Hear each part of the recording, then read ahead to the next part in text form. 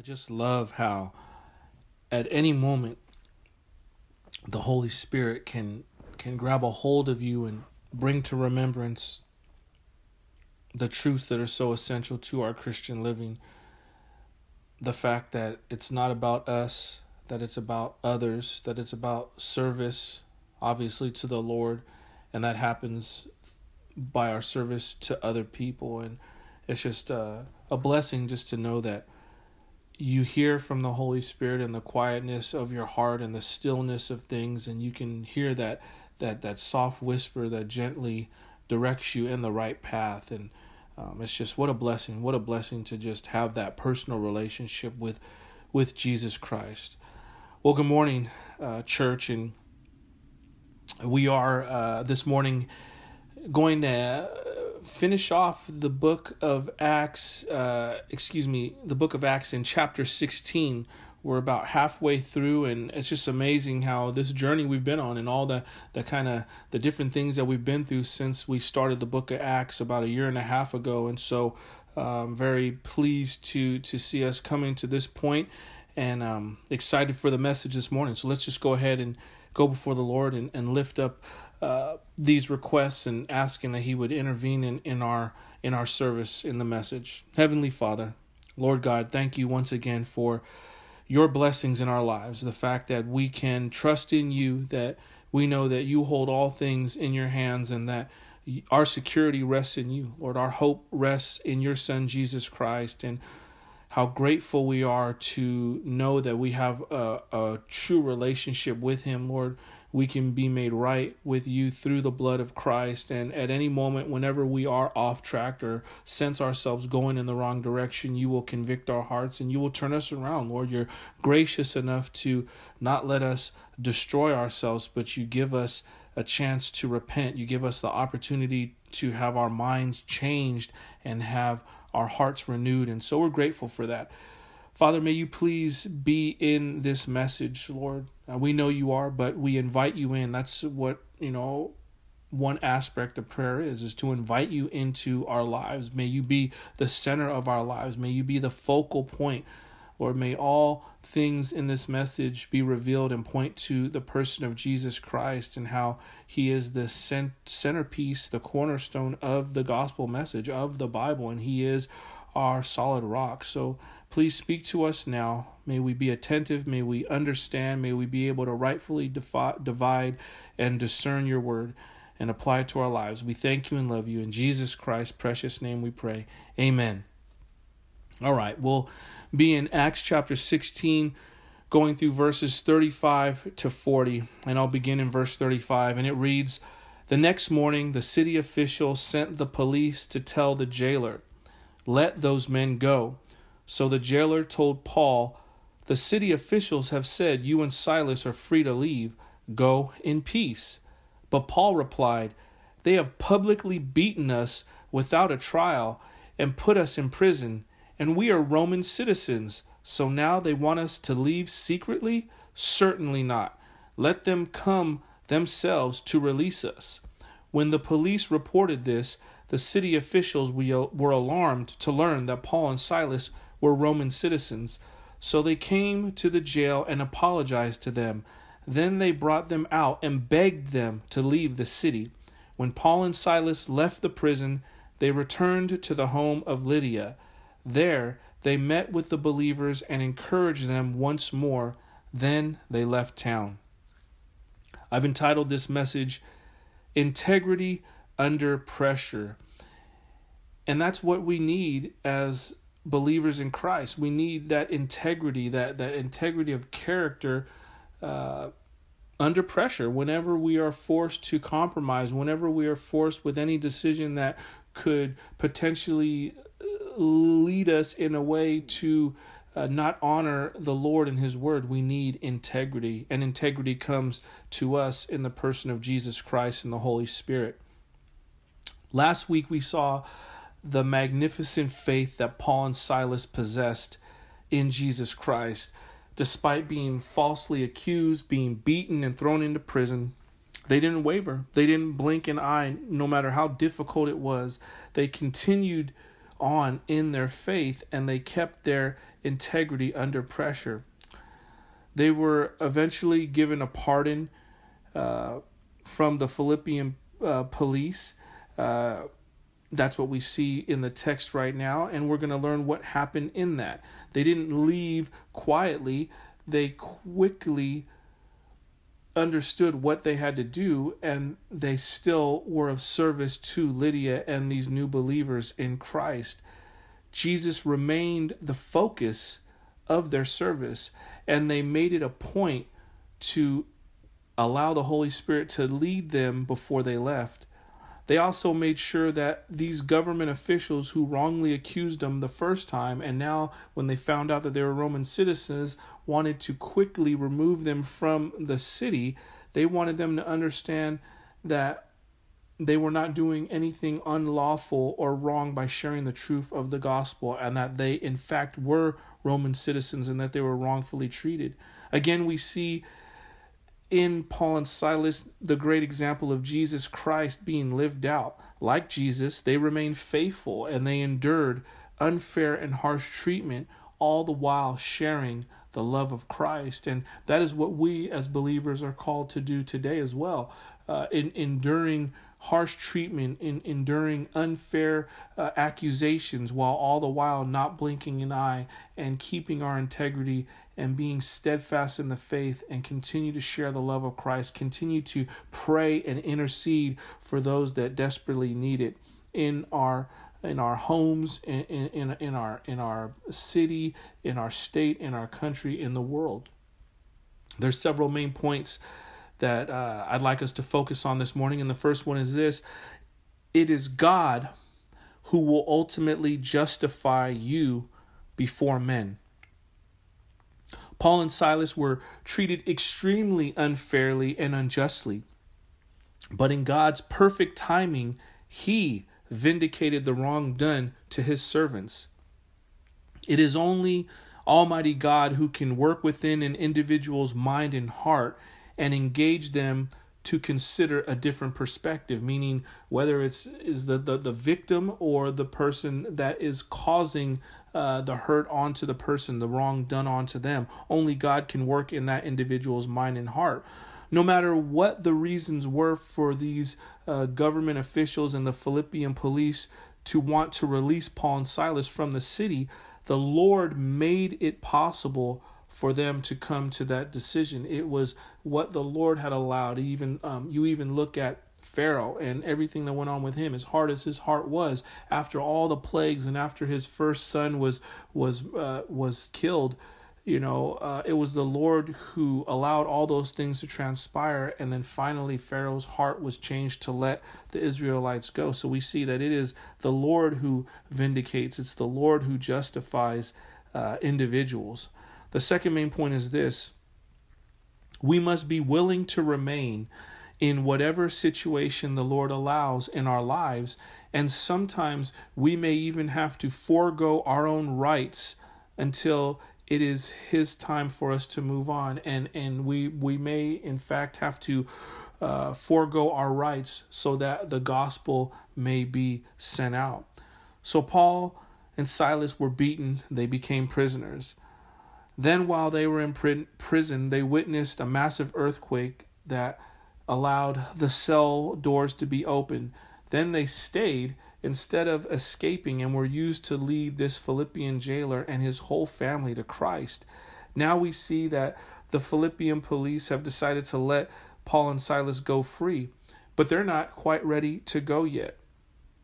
If it was me, I more than likely would have been like, I'm out. You're telling me I'm I'm good to go. I'm I'm I'm out of this place. It's been very stressful. It's been very difficult. There's been a lot of crazy things that have gone on. I'm not gonna look back. I'm out of here. But you see, Paul had great discernment. He realized one that the officials should be held accountable and apologize for their wrongdoing. He knew that he was wronged and they should be made aware that, that they did something wrong. The second thing was he recognized and discerned that the Lord still had encouraging to do through him in that city before he left.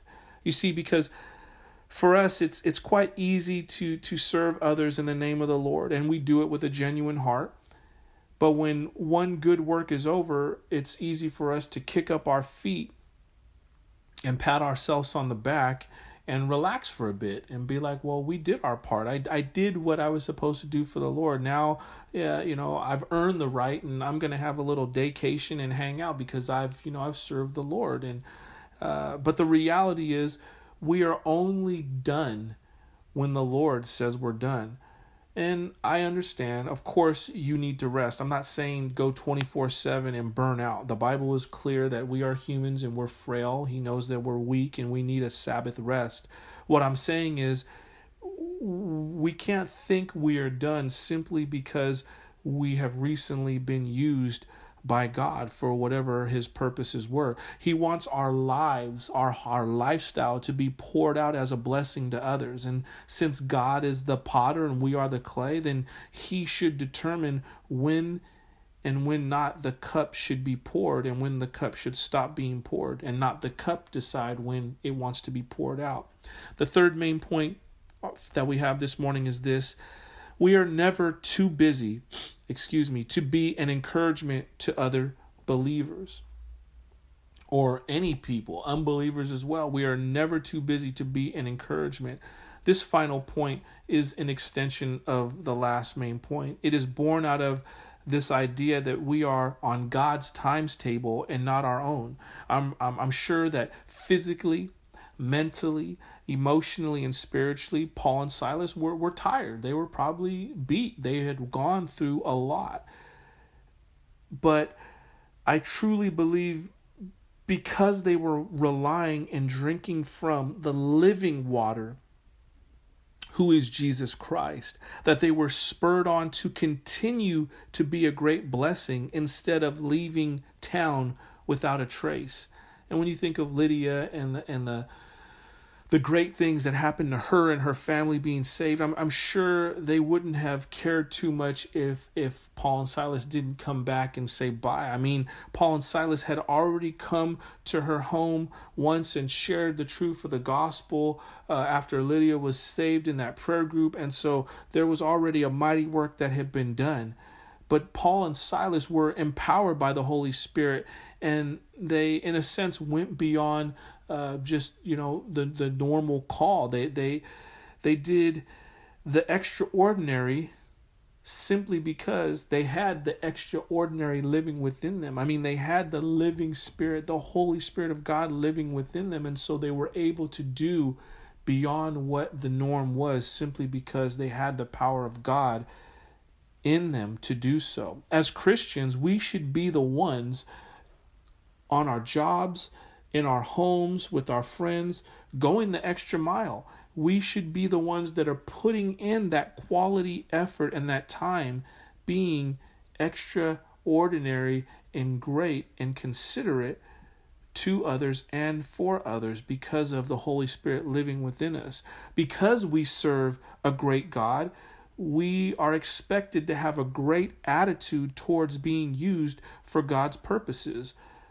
But unfortunately, many times we shortchange Jesus Christ by putting a cap on how he can use us. You all know, and I know because we've all been there. We'll, we'll use these excuses like, well, who am I? How can I be used by God? Or I, I can't be used by the Lord. I don't I don't have experience or I don't have the knowledge or I didn't go to seminary and I don't have these accolades by my name to to signify that I should be used by uh, the Lord in a great way. But this is where trusting in God comes into play.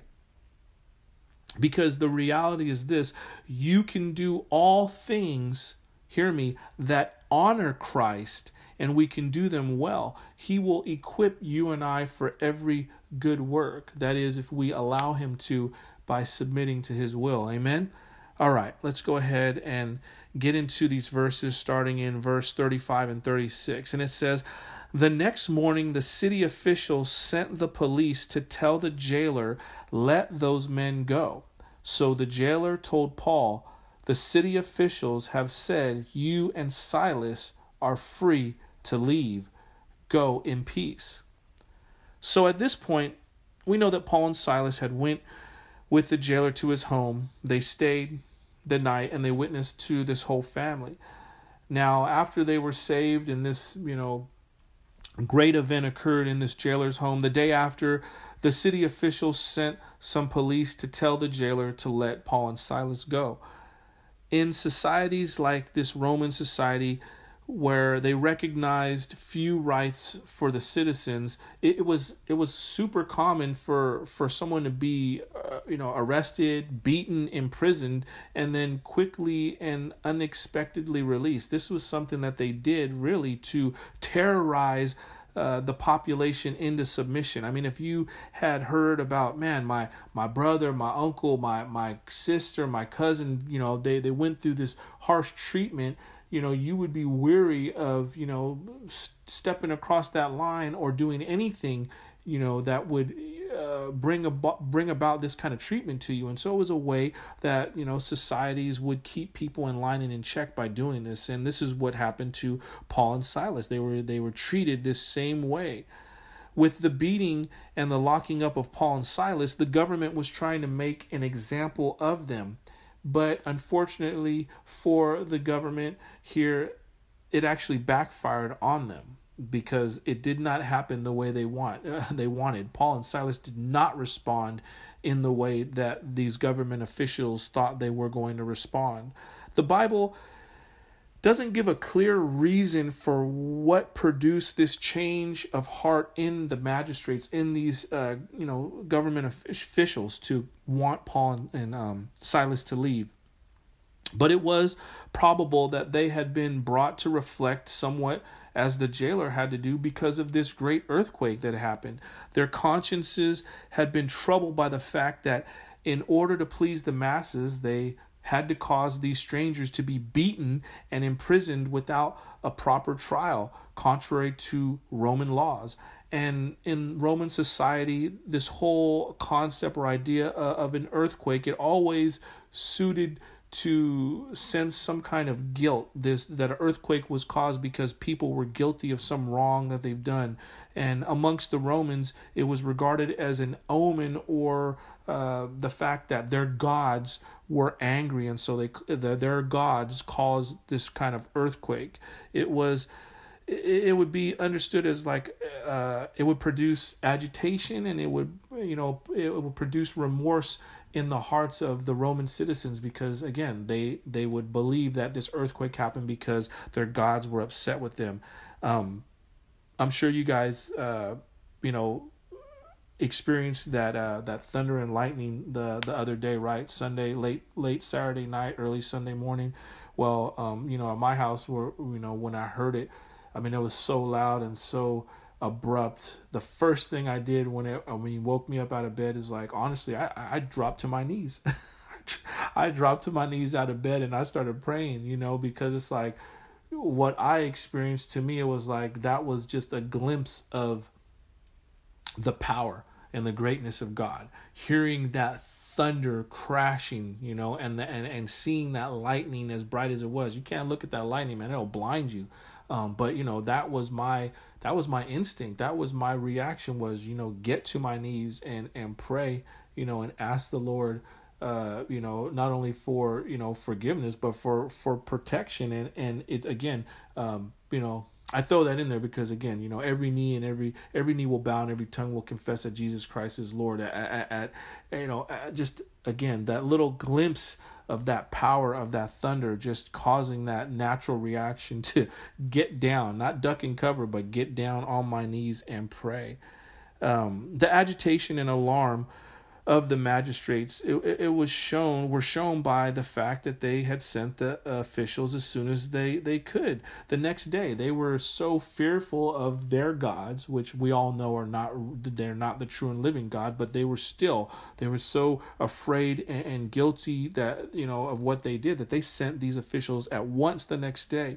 The judgment of god are purposely suited to alarm sinners Though they thought it was their gods that caused this massive earthquake, it was evident that it was not their false demigods, but it was the true God of Israel who caused this earthquake. And ultimately, it was God who justified Paul and Silas before these men and set Paul and Silas free. A question Whenever you are justified, liberated, or cleared from being wronged, who do you accredit your victory to? The truth is, we should always give the glory and honor to God, for it is God alone who has the ability to work through a person in order to accomplish his purposes. When you think of someone on trial, right, wrongly accused of a crime, sure, the, the defense attorney plays a role, as does the judge. But ultimately, who is the one who causes the conscience to work properly and a heart to be convicted and the correct uh, verdict to be made. It is the Lord who has that ability to do so. Isaiah chapter 46, verses 9 through 11 tell us Remember the things I have done in the past, for I alone am God. I am God, and there is none like me. Only I can tell you the future before it even happens. Everything I plan will come to pass, for I do whatever I wish I will call a swift bird to prey from the east, a leader from a distant land to come and do my bidding. I have said what I would do, and I will do it. You see, people, me and you, we are the instruments that God uses to accomplish his purposes on earth, even when those individuals are not living for God. He allows these things to happen, but out of them come his purposes. I mean, again, you think of uh, Joseph and his brothers and all the stuff that went on, you know, and ultimately, yes, you meant it for evil, but God meant it for good. All of the things that happened to him, being thrown in the pit, being enslaved in Egypt, then being brought to second in command so he could be used by the wisdom of God to make sure that uh, Egypt didn't fall away because of the famine, and then his brothers being saved and his family being restored. All that that bad happened, but ultimately it was for God's purpose to prevail. All right. Let's go ahead and look at verses 37 through 39. But Paul replied, They have publicly beaten us without a trial and put us in prison, and we are Roman citizens. So now they want us just to leave secretly? Certainly not. Let them come themselves to release us. When the police reported this, the city officials were alarmed to learn that Paul and Silas were Roman citizens. So they came to the jail and apologized to them then they brought them out and begged them to leave the city. Because Paul and Silas were Roman citizens, they had rights that were recognized because they were Roman citizens. And these these uh, rights they were violated by the Philippian magistrate, by these officials who had allowed them to be beaten wrongly. Well, the question is how could Paul and Silas have proven that they were even Roman citizens to begin with? Well, back then, I mean, much like today, you have some form of, of ID. They would have probably had a copy of some registration of birth which showed that they had the status of being a Roman citizen.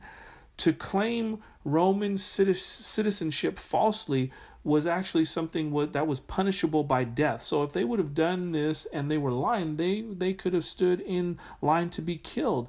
But when the magistrate understood this, when the uh, government officials understood this, they were filled with fear because it was a great offense to treat a Roman citizen uh, the way that they treated Paul and Silas. It was it was not it was not uh, something that would happen. Again, you even look at uh, the the um, the cross and crucifixion, right? Roman citizens were not permitted to be crucified, even if they were rapists, murderers, uh, you know, the worst uh, of of criminals. They were not given.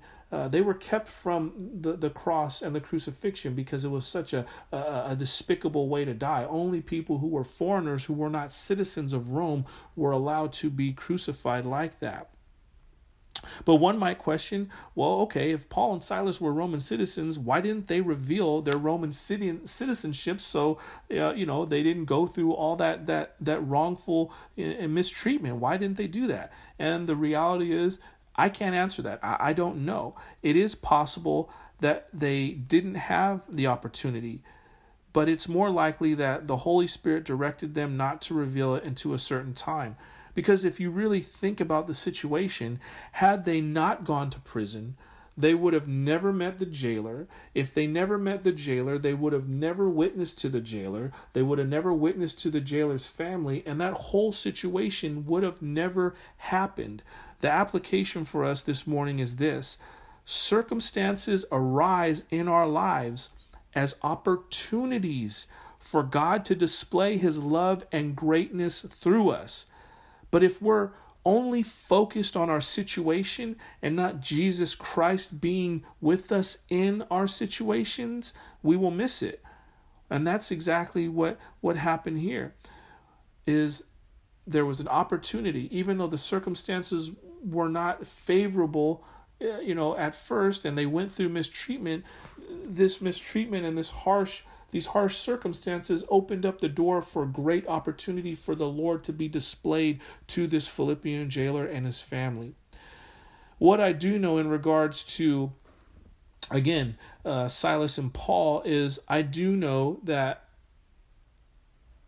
it's not as impo- it's not as important as our uh, our obedience like our rights. We have rights but our obedience is more important to us following the will of God than our rights.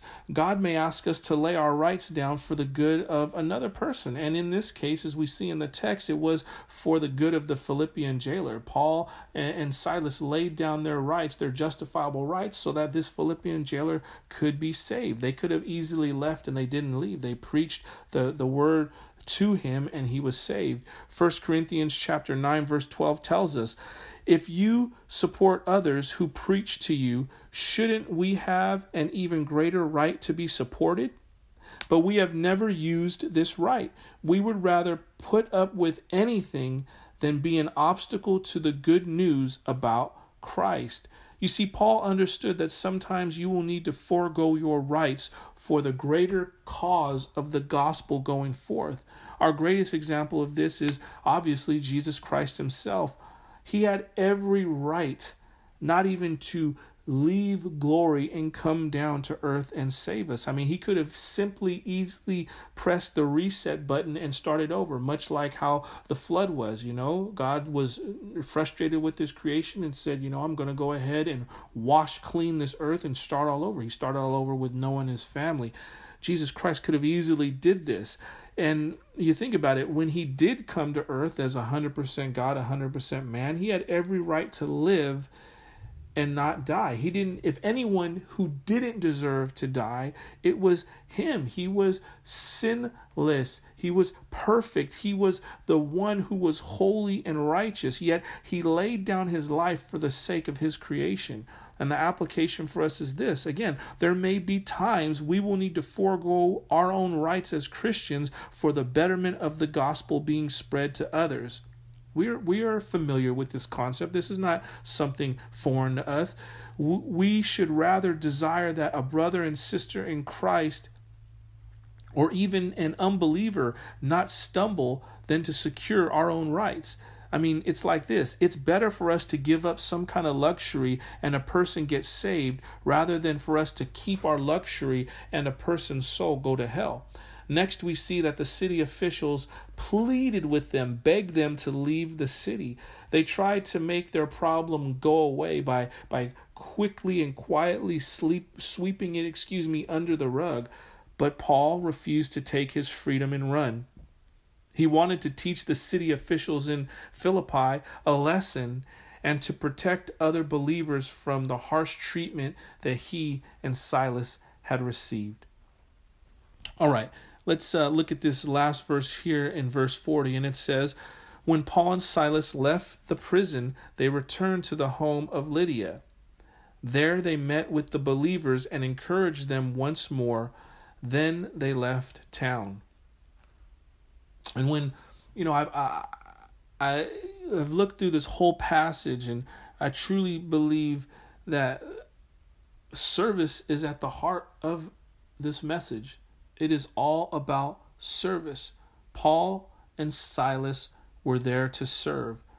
The Bible's clear in uh, the book of Matthew the greatest amongst you must be a servant. That is the heart of Christianity service. That is what Jesus Christ does. He serves. He doesn't look to be served, but he looks to serve. And for us today, we need to be those that look to serve, not to be served. And and that can come in many forms. I mean, something as simple as, you know, cleaning up after someone else cooks, uh, you know, just being of service, not not looking for anything to be done for you, but how can I be of service? How can I help? How can I be a blessing to someone else? But also to serve and to serve joyfully, not begrudgingly, not doing it like, oh man, I have to do this. I mean, it's such a burden. I'd rather be doing something else. But you know, with the joy of the Lord in your heart, knowing that this is you fulfilling your purpose in this earth is being a, a, a vehicle and a mechanism and a person, an instrument of service and an instrument of service to the Lord, excuse me, and for his people. When they had left the prison, they were directed by the Holy Spirit to go back to the house of Lydia before they had left for good. Only after they did this did they agree to leave. The Lord had more ministry for them to do. The Lord wanted them to encourage these new believers once again, one more time, for them to be supported, for them to be blessed by the presence of Paul and Silas and how the Lord would use them in these young believers' lives. Paul and Silas would not be hurried out of town until they had brought their work to a conclusion. The application for us is this we can never be too busy to think that our service for the Lord is ever done it's easy to right develop this mindset of living off of past blessings living off of old blessings. Oh well we were used by the lord to do this in the past and we did great work six months ago and you know a year ago and you know 15 years ago i remember how great it was. But you know what, what's going on currently? What's going on today? What's going on this past week? How has the lord used you in a mighty way? What are the things that what are the benchmarks that you see in your life that shows man the lord is using me and i know that I'm being used by the Lord on a daily basis. We we should be able to recognize that and these things should be able to easily be pointed out because we are believers in Christ. They're good things that we've done in the past, but we have to understand that the Lord loves new works. As long as we are living on this earth, Jesus Christ wants to do new and exciting and bold things for his kingdom through our lives. We can't live off of old blessings. Just like Jesus said, you can't put new wine in old wineskins or else the old wineskins are going to burst. You need new wineskins for the new wine, right? And in that, he was talking about the old rituals of the law, that they're dead, and, and the new life of Christ is here.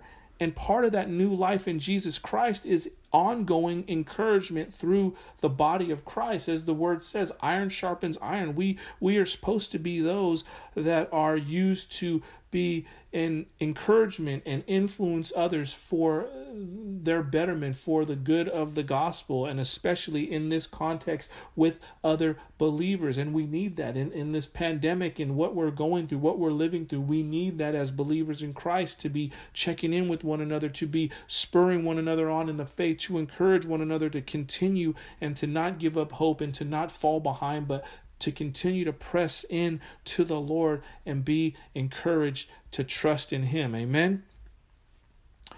But there were there were two specific converts that the Bible spoke about in in this uh, in this last portion of chapter 16 and I'll and I'll end with with this.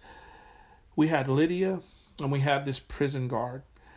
Each of these people had two different lives touched by Jesus in two very different ways, but ultimately it was for their betterment and for their good. We have Lydia. Now, Lydia was a faithful churchgoer, so to speak. You know, she knew of the Lord and she prayed regular, regularly, so she was seeking the Lord. That was Lydia's disposition. The guard you know he he had nothing he had no interest in the true and living god. If anything he was a roman citizen who obviously worshiped the demigods of of of rome. So he was not seeking the lord in any kind of way. Lydia lydia obviously was a seller of purple so she had a prosperous business and she lived a fruitful life. You look at the guard. Well in his situation, he may have had money uh, and he may have been somewhat well off, but ultimately he was about to kill himself. That was his position, his disposition in this circumstance. He was about to take his own life while Lydia lived a, a, a, a, good, prosperous life, and by no means was she about to kill herself. She was, you know, living a life that was very prosperous indeed. The next thing is that Lydia's heart was greatly opened. Her heart was greatly opened, right? While the guard's heart was violently confronted by this massive earthquake that happened. But Lydia, her heart was greatly open and gently opened by the word of the Lord that was brought to her. A great contrast there. The next is the guard had a remarkable sign of this earthquake that brought him to his knees while Lydia had the quiet move of the Holy Spirit in her heart. Not that not that the quiet spirit of uh, the quiet uh, quietness of the Holy Spirit was not a remarkable sign as well, because obviously that is remarkable. We know that we can't save ourselves; that it's the Lord that has to come into our hearts to show us what is real. But it's the fact that you have this massive earthquake and then you have this quiet whisper, right? The Lord is in both of these things, but there is a great contrast there between the two. And the reality is this both heard the gospel and believed, and through each of these individuals, both of their families were touched. The application for us today is this there is this is excuse me this is another constant reminder right that that all of us fall short of the glory of god. None are righteous no not one. No one is seeking the lord. But by the same token all of us all people are eligible candidates for salvation. It doesn't matter what your background is, whether you are financially successful or not, whatever your race is, whatever your class is, it doesn't matter. Or even if you oppose uh, God's people, even if you oppose uh, God, maybe you're an atheist, that doesn't mean you, you are not eligible for the gift of salvation. We all need the same saving grace of Jesus Christ, and He humbly, willfully, offers it to all men and women. Amen? Let's pray. Heavenly Father, Lord God, thank you again for your word. Lord, thank you again for your reminders that it is you who justifies us before men, that we don't have to try to avenge the wrong that's done to us, for your word says, Vengeance is mine, says the Lord. And uh, let us allow you to have your uh, that you may avenge the wrong that is done to us. May we be those that humbly pray for our attackers, pray for those who accuse us wrongfully, pray for those who have caused harm in our lives, Lord, that we would want to see their hearts changed, Lord, as as when we forgive others, we are freed from that that that burden of, of, of hate and, and malice, Lord, and, and and and anger, Lord. We don't want to be those that hold on to that because that that builds up within us and it harms us mentally, emotionally, physically, and spiritually, Lord. So thank you that you uh, are the one that that justifies us before men. Father, we thank you that uh, you allow circumstances to come into our lives, and even though some circumstances are very harsh and hard, there is a purpose for it lord and that and that purpose is that those around us that don't know you may have the opportunity to be saved. So for us as believers today in the circumstances you have us in because of this pandemic and all the things going on help us to see that there is a great resource in that and that resource is christ and that we should be those that look to share christ with those around us and not be stuck on our circumstances that we don't want to be drowned out by by the difficulty that we're going through in our circumstances. Thank you that you you walk with us through our circumstances. And father thank you that you show us that encouragement and service is at the heart and the core of the christian life. May you help us to be those that are constantly looking to serve others constantly looking to be an encouragement to others Lord, we want to be used for your glory. We want to bring honor and praise and true worship to you by the way that we live.